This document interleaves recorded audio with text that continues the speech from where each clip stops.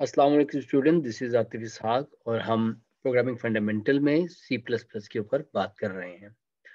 आज की इस वीडियो के अंदर हम बात करेंगे लूप्स के ऊपर कि किसी भी प्रोग्रामिंग लैंग्वेज के अंदर लूप्स क्या होते हैं और इस वीडियो के अंदर हम पर्टिकुलरली वाइल लूप के ऊपर डिस्कशन करेंगे। लूप्स प्रोग्रामिंग लैंग्वेज के अंदर किसी स्टेटमेंट को या सेट ऑफ़ स्टेटमेंट को रिपीटेडली एग्जीक्यूट करने के काम आते हैं। सो वी कैन से अगर आप किसी स्टेटमेंट को एक या एक से ज़्यादा दफ़ा रिपीट करना चाह रहे हैं तो फिर हम लूप्स को यूज़ करते हैं।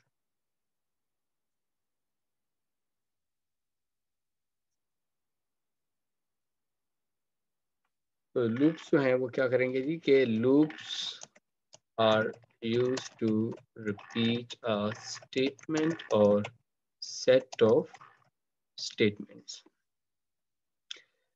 C plus plus के अंदर हमारे पास तीन तरह के लूप्स हैं। While loop do while loop and for loop आज की इस वीडियो के अंदर हम बात करेंगे वाइल लूप के ऊपर। सो वाइल लूप एक ऐसा लूप है जो कि एक कंडीशन को टेस्ट करेगा और जब तक वो कंडीशन ट्रू रहेगी, तब तक आपका लूप जो है वो चलता रहेगा। और जैसे ही आपकी वो कंडीशन फॉल्स होगी, आपका वो लूप टर्मिनेट हो जाएगा। किसी कंडीशन के ट्रू होने से क्या मुराद है? फॉर एग्ज़ाम्पल कि हमने रिलेशनल ऑपरेटर के ऊपर डिस्कशन की थी और हम ये कहते हैं कि रिलेशनल ऑपरेटर जब किसी भी जगह पर यूज़ होंगे तो वो एक्सप्रेशन हमें ट्रू या फॉल्स रिटर्न करेगी। सिमिलरली जब हम वाइल लूप को या किसी भी दूसरे लूप को यूज़ करेंगे तो हम इसके अंदर कॉमनली किसी कंडीशन को टेस्ट कर रहे होंगे। और वो कंडीशन एक रिलेशनल एक्सप्रेशन होगी, जिसकी वैल्यू ट्रू या फॉल्स आएगी। इस एग्जांपल के अंदर हम फॉर एग्जांपल एक वेरिएबल लेते हैं एक्स और इस एक्स को मैं इनिशियलाइज कर देता हूँ ज़ीरो से। और वाइल का लूप हम लगाते हैं कि जब तक एक्स की वैल्यू टेन से कम रहती है। और इस लूप के अंदर अब हम प्रिंट करने जा रहे हैं सी आउट एक्स और मैं इसके साथ एंडल को भी यूज़ कर रहा हूँ। अब अगर आप इस लूप के ऊपर गौर करें तो ये एक कंडीशन हमने यूज़ की है जो कि टेस्ट होगी। यानी इस कंडीशन की दो ही पॉसिबिलिटीज हैं हमारे। नंबर वन के ये कंडीशन ट्रू हो सकती है, और नंबर टू ये कंडीशन फॉल्स हो सकती है। तो हम ये ज्यूम करते हैं कि अगर ये कंडीशन हमें ट्रू रिटर्न करेगी तो हम इस लूप की बॉडी के अंदर आ जाएँगे। और अगर ये कंडीशन हमें फॉल्स रिटर्न करेगी तो हम इस लूप से बाहर यहाँ पर आ जाएँगे। यानी इमीडिएटली जो स्टेटमेंट इस लूप के बाद होगी, हम उस स्टेटमेंट को एग्जीक्यूट करवाएँगे। अब एक और चीज़ जो आपने गौर करनी है वो ये है कि हमने एक्स को ज़ीरो से इनिशियलाइज किया है। और x को हम टेस्ट कर रहे हैं कि उसकी वैल्यू लेस देन टेन हो। लेकिन यहाँ पर कहीं भी x की वैल्यू के अंदर फर्दर कोई चेंज नहीं आ रहा। इसका मतलब है कि x की वैल्यू इस प्रोग्राम के अंदर थ्रू आउट ज़ीरो ही रहेगी और zero is always less than ten तो ये लूप एक इनफाइनाइट लूप बन जाएगा। लेकिन जब हम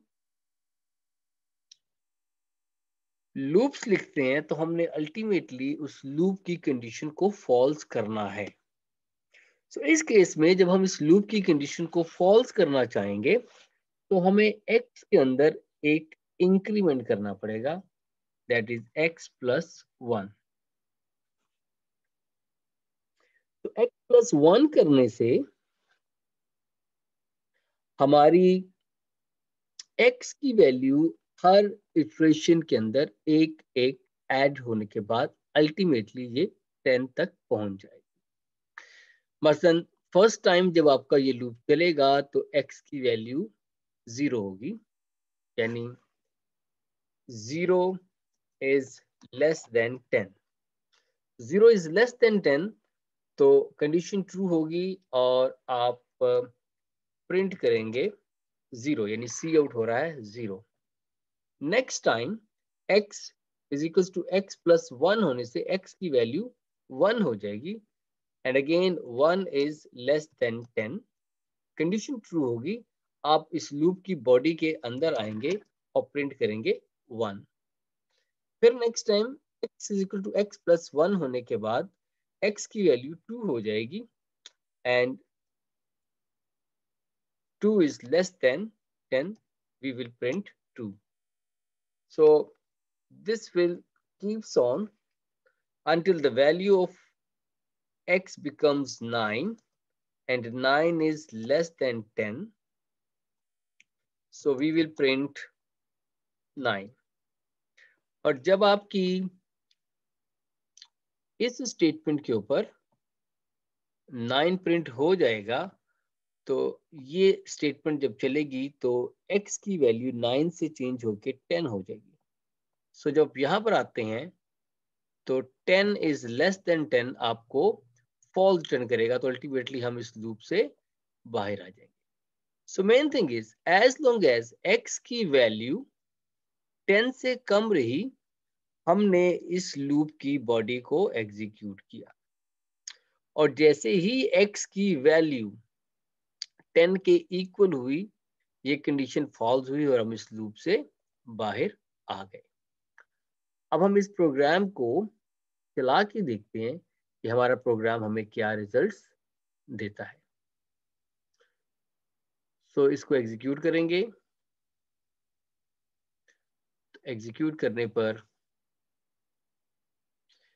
zero one two three four five six seven eight and nine जो वैल्यूज़ अभी मैंने आपको ड्राई रन करके दी है, वही वैल्यू आपकी स्क्रीन के ऊपर आपको नज़र आ रही है So this is the way how your while loop actually executes. अब इस एग्ज़ाम्पल के अंदर हम थोड़ा सा मॉडिफिकेशन करते हैं और देखते हैं कि अब फर्दर इसके अंदर क्या चेंजेस आ सकती हैं सो आई गेस कि आपको आउटपुट नज़र नहीं आई थी सो so मैं इसको आपके सामने कर देता हूँ। अब वापस अपने प्रोग्राम में जा रहे हैं और उसके रिजल्ट्स को चेंज करने की कोशिश करते हैं by making a change in the code so यहाँ पे हमने जो एग्ज़ाम्पल यूज़ की है for incrementing the value of x हमने कहा x is equal to x plus one we can also make use of x plus plus और ये भी बिल्कुल वैसे ही काम करेगी जैसे x is equal to x plus one काम करे और इसको हम कहते हैं इंक्रीमेंट ऑपरेटर तो एक दो मैं इस प्रोग्राम को आपको चला के दिखाता हूँ। कि इस तरह करने से भी हमारे प्रोग्राम के रिज़ल्ट पे कोई फ़र्क नहीं पड़ेगा। So let see the output तो आपको आउटपुट में कोई भी चेंज नज़र नहीं आया।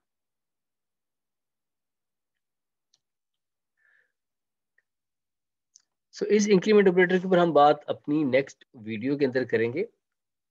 अभी मैं इसी वाइल लूप को कन्वर्ट कर देता हूँ। एक ऐसे प्रोग्राम के अंदर कि जो आपको किसी भी नंबर का टेबल प्रिंट करके दे देगा। तो उस काम के लिए फॉर एग्जांपल कि मैं एक एन ले लेता हूँ एन को भी मैं ज़ीरो से इनिशियलाइज कर लेता हूँ। और हम यूज़र से कहते हैं कि, enter आ नंबर टू प्रिंट table और हम सी इन करते हैं एन को। और यहाँ पर हम अब जो चीज़ करने जा रहे हैं वो ये है कि हमारे टेबल की जो स्ट्रक्चर है, वो कुछ ऐसी होती है लेट्स से कि मेरा कोई भी टेबल है जैसे two times one equals two two so two is the number तो यहाँ पर एन आएगा और उसके बाद टाइम्स के लिए मुझे ये cross as it is display करना है। वन के केस में एक्स वो है जो कि अपनी वैल्यू को चेंज करेगा। और फिर उसके बाद इक्वल एज ए स्ट्रिंग मैं रिप्रेजेंट करूँगा। और फिर उसके बाद एन को मल्टीप्लाई कर देंगे आई के साथ तो हमारी ये वैल्यू प्रिंट हो जाएगी। मतलब अगर मैं इसको आपको रिलेट करके दूँ तो actually this N is this two ये क्रॉस यहाँ से आ गया। वन जो है वो आपको इस एक्स की वैल्यू से मिलेगा और ये इक्वल आपको एक्चुअली यहाँ से मिलेगा। और उसके बाद ये जो रिज़ल्ट है, ये हमें इस मल्टीप्लीकेशन के नतीजे में मिलेगा।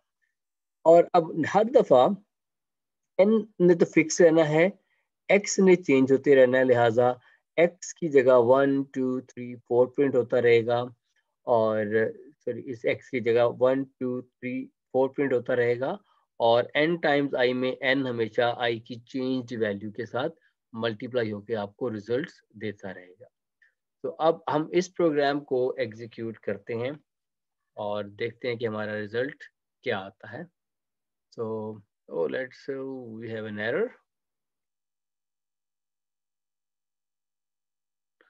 so this is not actually i this is actually x so we execute it and let's see the output of the program तो हमारा प्रोग्राम जो है वो हमसे नंबर डिमांड कर रहा है और हम नंबर उसको लेट से